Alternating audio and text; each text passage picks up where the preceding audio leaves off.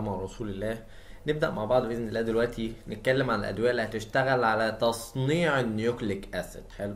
إحنا في الأول خالص اتكلمنا عن ال cell wall inhibitor اللي هي ال BBV وبعد كده اتكلمنا عن تصنيع البروتين وقلت لك at 30 50 dot com واضح إن الأدوية المرة دي داخلالي direct على ال nucleic acid هي عارفة طريقها. ما بتهزرش الأدوية دي. الأدوية دي داخلة تجيب الكبير بتاع البكتيريا. داخلة تقتل لي وتبوظ لي ال DNA بتاع البكتيريا. الفلوروكينولون من أجمل أجمل المضادات الحيوية اللي اكتشفناها في يوم من الأيام. تقريبا wide wide wide spectrum بتجيب كل أنواع البكتيريا والميكروبات وال atypical بتجيب كتير كتير قوي. ولذلك أشهرهم وأكثرهم استعمالا السيبروفلوكساسين هتلاقي الناس ماشية تبلبعه أصلا. حلو؟ والناس هتفضل تبلبع فيه لحد ما يحصل له resistant ويبقى ما عادش ليه لازمة. المهم المهم من أكتر المضادات الحيوية اللي بتستعمل هي الفلوروكينولون. بص قبل كده أيام زمان كانوا في quinolones بس اللي هي ال nalidixic acid وال pipemidic acid والحاجات العبيطة دي. دي كانت قديمة أيام زمان ما كانش ليها استعمالات حلوة أصلا. عملنا لهم fluorination بقوا fluorinated بقوا fluorinated فطلعنا بال third وال fourth generation وهم دول أصلا اللي بقوا بيستعملوا دلوقتي. حلو. لذلك أنا مش عايزك تعرف كلام أصلا عن القديم. إحنا عايزين ندخل نتكلم على طول عن الجديد اللي هو ال third وال fourth generation. اساميهم ال cipro وال oflo وال levo. دول كده third generation. عايزك تركز لي قوي قوي قوي على ال cipro ال ciprofloxacin لأن ده أشهر ال fluoroquinolones اللي هتجيلك في الأسئلة. حلو. ال levo برضو عايزك تعرف اسمه إلى حد ما. وعايزك تعرف لي واحد من ال fourth زي مثلا ال moxi أو gemi أو أي حاجة من الحاجات دي. حلو. اعرف لك واحد مثلا ولا حاجة تعرف بس إن هم إيه دول fourth يعني. جميل خالص جميل. والله البكتيريا دي قلت لك بتجيب broad spectrum من المضادات الحيوية دي بتجيب broad spectrum من البكتيريا. صلى على النبي. عندك لو بكتيريا gram positive ممكن تجيب منها جزء مش مشكلة خالص. حلو. لو بكتيريا gram negative هتجيب منها جزء. لو بكتيريا anaerobe فاكر ال anaerobe اللي هي لا هوائيه البكتيريا لا هوائيه هتجيب منها برضه حاجات. لو بكتيريا intracellular زي الملك هتجيب منها برضه حاجات. حلو؟ فلذلك الأدوية دي قلت لك من أكثر الأدوية استعمالا مش عايزين نطول عليك عزيزي الطالب. ركز معايا ال mechanism. بت inhibit ال type 2 DNA topoisomerase عارفه؟ اللي هو الاسم التاني بتاعه DNA gyrase. عارف ده كان بيعمل إيه؟ ده اللي كان بيعمل coiling لل DNA وانت اشطر مني في الحتة دي انت اللي واخد genetics وشاطر وعنتيل genetics ما شاء الله. ال DNA topoisomerase هو اللي بيعمل coiling لل DNA اللي بيتكون. حلو الكلام؟ جميل خالص. لو انت بوظت ال DNA topoisomerase تحديدا type 2 اعرفها عشان ال MCQ فانت هتبوظ ال bacteria replication وبالتالي البكتيريا هتموت. وبالتالي الأدوية دي أصلا bactericidal واضح إن هي أحسن كمان من ال macrolide اللي كانت بتضرب ال atypical لكنها كانت bacteriostatic بال low concentration bactericidal بال high concentration ده هي bactericidal على طول وبتجيب برضه ال atypical زيها زي أي مضاد حيوي بيقل امتصاصها لو في حاجة في المعدة. وقلت لك إنها طالما بتحارب ال intracellular bacteria أو ما أو organism تحديدا يبقى لازم تدخل جوه ال neutrophil وال macrophage. حلو؟ خد بالك بيبقى ليهم long duration of action دي حاجة حلوة زيهم زي ال macrolide يعني مش ضروري قوي إن أنت تعرفها بس اعرف إن دي حاجة حلوة إن هم يتاخدوا مرة واحدة في اليوم بس. حلو؟ استعمالاتهم استعمالاتهم دي كده ال spectrum بتاعهم. الحاجات اللي أنا قلت لك بتضرب إيه وما إلى ذلك. أعرفهم كده ليك زي ما أنا قلتهم لك بطريقة عامة كده. لكن كاستعمالات بقى ضد أي infection بص بص بص أي infection في أي مكان. أي infection في أي مكان. في ال GIT ينفع في ال urinary tract ينفع في البروستاتا ينفع في ال respiratory ينفع. ده كمان لو pseudomonas هتنفع. شفت؟ وال skin تجيب ال skin كمان. جميل. وال bone infection osteomyelitis تحديدا بيبقى ال third generation قلت لك إن ال bone بتبقى أحيانا anaerobic bacteria لذلك هي كمان بتتحارب بال bone infection جميل خالص الكلام ده. عايز تحفظ؟ GIT و urinary tract و respiratory و bone S S S S اللي هي مين؟ skin skin لأن دي اللي أنتوا بتنسوها. skin skin والسالمونيلا.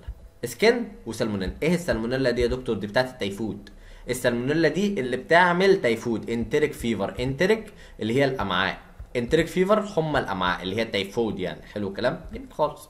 مش مشكلة. بيحاربوا كمان إيه؟ أنا وضحت لك فوق إن هم بيجيبوا ال atypical خلاص عرفتهم اللي هم ال mycoplasma ال legionella ومعاهم الكلاميديا. وال pseudomonas دي gram negative. عايزك تعرف لي كل الاستعمالات دي. بص بالصلاة على النبي بسم الله الله أكبر بتستعمل تقريبا ضد أي نوع من أنواع البكتيريا. حلو الكلام. جميل خالص إن أنت تعرفها. مش مميز ليها قوي الاستعمالات بتاعتها لكن مميز ليها حكاية السالمونيلا ده. اهي عايزك تبقى عارفها كويس قوي وال adverse effect بقى هي المميزة جدا ليها. أعتقد GIT upset أنت سمعتها لما زهقت منها. كل المضادات الحيوية تقريبا بتعمل GIT upset دي ال most common عشان لو جات لك MCQ أي مضاد حيوي غالبا علشان بيقل امتصاصه بالأكل فبتديه على معدة فاضية فبيعمل GIT upset جميل جميل خالص. ال arthropathy دي بقى حاجة غريبة خالص. جبنا 200 فار في المعمل بتاعي جربت عليهم الدواء لقيت الفئران بعد فترة ماشية بتعرج أتاري إن الدواء ده ضرب بال cartilage عارفين ال cartilage اللي بيبقى في ال joint؟ المهم هو ضرب حتة في ال cartilage اللي بتبقى في ال joint فلقينا الفئران دي جالهم arthropathy مشاكل في المفاصل وبقت بتعرج. طب هل الكلام ده حصل في الإنسان؟ لا ما حصلش في الإنسان. لكن إحنا مش هنستنى إن هو يحصل في الإنسان. فإحنا ما رضيناش نديه لأي شخص تحت ال 18 سنة علشان ما يحصلوش مشاكل في نمو العظام وما إلى ذلك. tendonitis و tendon rupture دي بقى دي بقى سبحان الله غريبة جدا. عارفين tendo Achilles أو أكيلس as you like to say يعني أكيلس أو أخيلس اللي أنت عايزه اللي هو كان بتاع المحارب القديم اللي اسمه أكيلس وعلشان يموتوا أكيلس ده كانوا رموه بسهم فالسهم جه في ال tendon اللي هو المنطقة ده ال tendon ده ال tendon ده اللي بيوصل ما بين السمانة والكعب الكعب بتاعك من تحت مش الكعب اللي هو ده الكعب اللي هو تحت خالص ده مش اللي هو تحت في الأناتومي ده. المهم المهم اللي هو التندون بقى اللي بيوصل ما بينهم دول التندون ده ضربوه في المحارب اللي كان اسمه اكيلس وقع من على الحصان محدش كان عارف يموته مات فيها الحركة دي. حلو؟ فقمنا مسميين التندون ده آه ليه يعني؟ بما إن هو كان محارب عظيم فقمنا مسمينه على اسمه يعني. المهم المهم التندون ده لقينا إن ممكن بعض الأشخاص يجي لهم وجع في التندون ويقول لك يا دكتور أنا بدأت سيبروفلوكساسين وبدأ يظهر لي وجع في التندون بتاعي. تقوم أنت دكتور واخد بكالوريوس صرف صحي من جامعة أوكسفورد وتروح قايل له مش مشكلة أربط رجلك وكمل الدواء عادي. يجي لك بعد أسبوع يقول لك يا دكتور أنا لقيت التندون بتاعي فرقع ورحت للدكتور عظام ومش عارف إيه. هو إيه اللي حصل يا دكتور؟ تروح أنت قافل العيادة وماشي ومروح علشان أنت كده هتتسحب منك رخصتك. ليه؟ لأن أنت ما كنتش عارف يا دكتور إن السيبروفلوكساسين بيعمل tendonitis و tendon rupture أول ما يجي لك المريض اللي بدأ سيبروفلوكساسين يقول لك عندي وجع في ال tendon تروح موقف السيبروفلوكساسين على طول. خوفا من إن ال tendon rupture لأن ال tendon rupture هيعيش بقية حياته على عكاز. جميل؟ جميل. أعرف لي الاثنين دول لأن هم مميزين جدا ليها والثالثه بتاعتهم CNS خد بالك الناس الناس اللي بيبقى عندهم مشاكل في الدماغ epilepsy اللي هو الصرع psychiatric problem ما إلى ذلك الحاجات دي. ال fluoroquinolone بت lower ال threshold إن هو يدخل في attack يعني يعني هو مثلا بيدخل في attack مرة كل 3 4 سنين. لو خدت fluoroquinolones تحديدا السيبروفلوكساسين ممكن مرة واحدة تلاقيه دخل في attack بعد خمس أيام attack من ال epilepsy attack من الصرع يعني مرة واحدة دخل في نوبة صرع حلو؟ فيجي لك ال case يقول لك واحد عنده بقاله خمس سنين بيتعالج من الصرع بدأ كينولون بيتعالج من الصرع ايا كان الدواء كاربامازيبين أو ايا كان الدواء اكتبها علشان بتجيلك في ال case carbamazepine بدأ ياخد فلوريكونولون. حلو.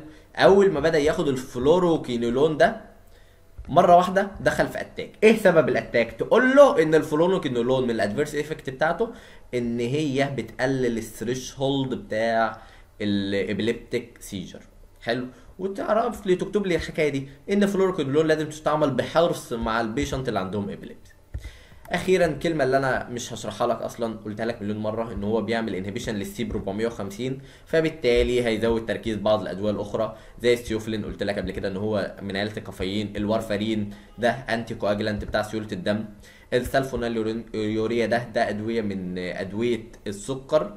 فخد بالك إن تركيز أي حاجة من الحاجات دي لو زاد في الجسم هيعمل مشاكل. الثيوفيلين ممكن يدخلك في arrhythmia الوارفارين يدخلك في نزيف من كل مكان. السلفونيليوريا يقلل السكر قوي لأن هو دواء أصلا بتاع سكر فيقلل السكر قوي ويدخلك في hypoglycemic coma حلو؟